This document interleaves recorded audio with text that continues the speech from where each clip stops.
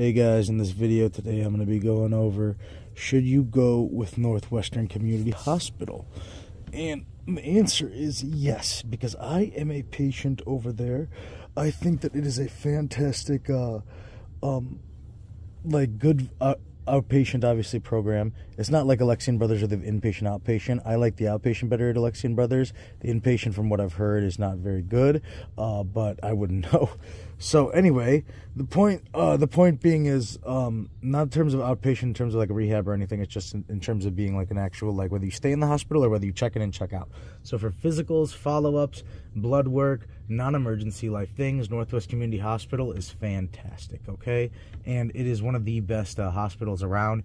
It is a PPO hospital. It's typically not HMO. I go to Dr. Andrew Kroc, uh, and I see a lot of different doctors because I travel a lot. Um, they're in a few, uh, uh, what's it called? Um, like a few locations. And uh, basically, yeah, I see Dr. Andrew Kroc, and he is fantastic. Five out of five stars, five and a half out of five stars, okay?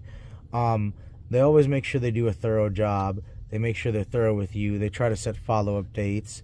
And yeah. And also, too, as well, um, yeah, they're just a fantastic organization. I give them a five out of five. Okay, um, I don't know if there's anything wrong with some like uh, like ear infection. Like I don't know if I have an ear infection because my ear was feeling weird, and I will go ahead and get it checked out by literally by them tomorrow. So that's literally I'm putting my uh, like words where my I'm putting my money where my mouth is. You know what I'm saying? As I would say, literally, because I'm going to pay uh, for Northwest Community Hospital tomorrow, or my insurances. and check in. So yeah, all right, guys. We will see you in the next video.